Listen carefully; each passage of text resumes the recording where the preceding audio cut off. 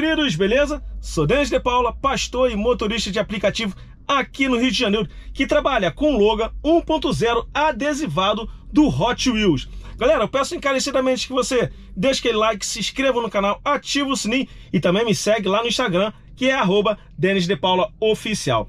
Galera, hoje a gente vai estar falando sobre uma polêmica que o senhor presidente Luiz Inácio Lula da Silva falou que os ciclistas, motociclistas e os motoristas de aplicativo utilizam fraldão para trabalhar. Cara, olha, vamos pegar aí o contexto de tudo que ele falou e aí a gente vai analisar. Porque ele exagerou até demais.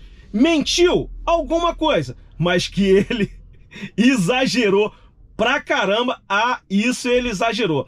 Mas aí a gente vai colocar para assistir o vídeo e a gente vai analisar juntinha aqui o que, que ele falou. Beleza? que as plataformas muitas vezes trabalham as pessoas quase que como trabalho escravo. Eu não sei se você sabe, mas no caso do Brasil, aquelas meninadas que trabalham de moto, trabalham de bicicleta, às vezes não têm banheiro para ir.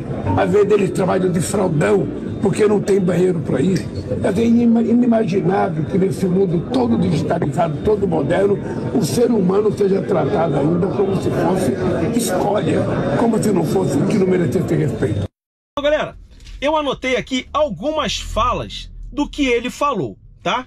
Vamos analisar juntamente comigo? Olha só, ele falou que a plataforma dos aplicativos fazem com que nós tenhamos quase que um trabalho escravo. Ele errou?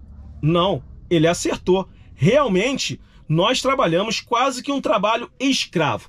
Mas, mas, se a gente for botar na ponta do lápis, se nós viermos também a trabalhar como CLT, seremos parecido, parecido também com o trabalho escravo, porque a gente tem ali aquele ciclo de horário de trabalho e é aquela situação. Muitas das vezes você não pode faltar, muitas das vezes se você pedir uma folga, aquilo outro, você corre até o risco de quê?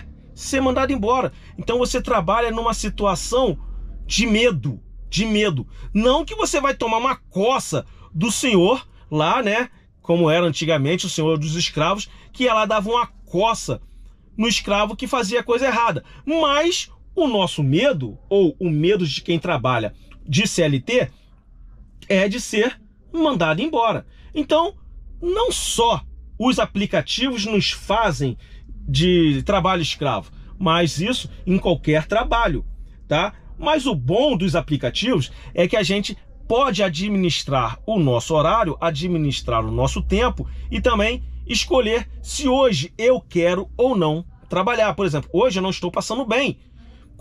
Coloquei uma pedra é, é dos rins para fora. Poxa, senti muito mal, muita dor nos rins. E olha que eu bebo água, hein?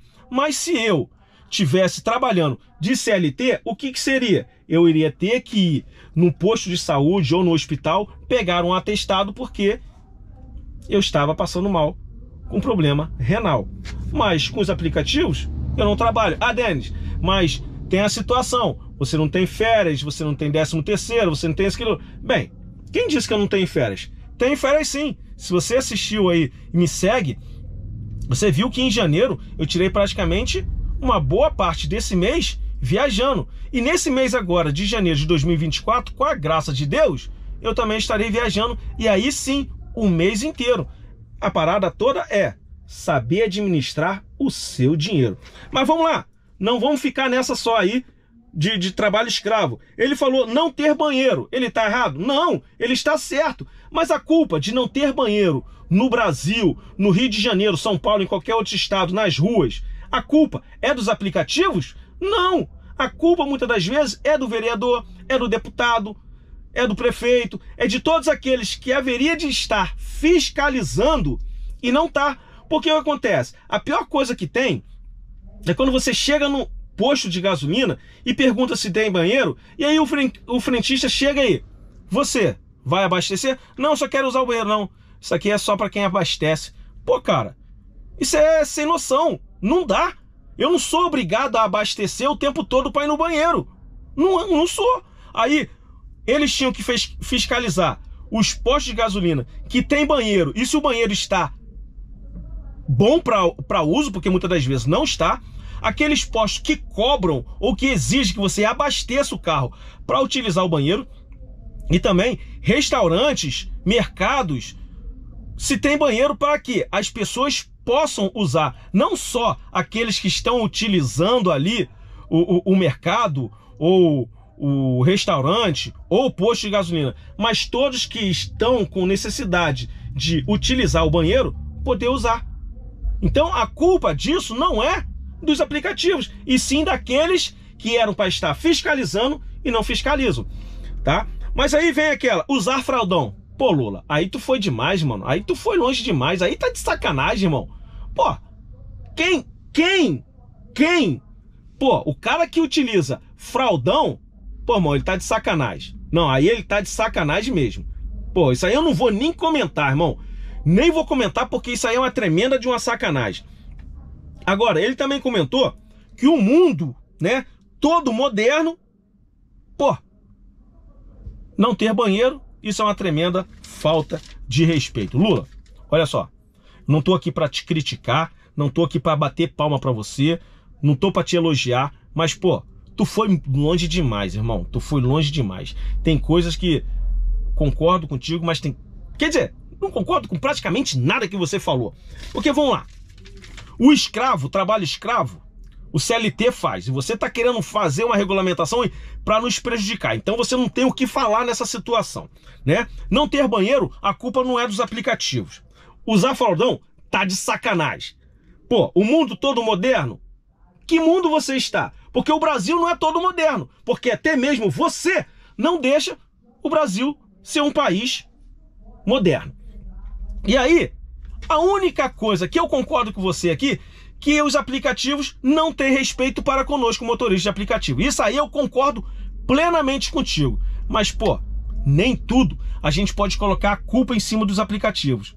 E aí, muitos desses erros, desses problemas aqui, é a culpa do governo. É a culpa de quem não nos dá algo de bom. Cadê os empregos? Cadê os empregos? Cadê os empregos e ainda um salário digno para a gente utilizar? Porque não dá para gente trabalhar num trabalho né, de CLT, onde a gente recebe menos do que merecemos. Não dá, não dá. E ainda é de segunda a sábado, você não tem aí um dia praticamente da semana para você resolver os seus problemas, porque a gente não tem condição de resolver os problemas, principalmente de ban banco, pagar no domingo. Não tem como. Então a gente precisaria sim ter uma folga durante a semana. Mas aí, essa aqui foi o meu pensamento. Foi o que eu acho. E aí eu queria saber aqui de você, nesse vídeo, que você deixasse o seu comentário e também colocasse assim, né, expor o seu pensamento. O que, que você acha disso tudo que o presidente Lula falou? Deixa aqui no comentário. Não sai do vídeo sem deixar aquele like, sem seguir a gente lá no Instagram, que é arroba Denis de Paula Oficial. Valeu, galera. Tamo junto, um abraço, beijo no coração e fica com Deus.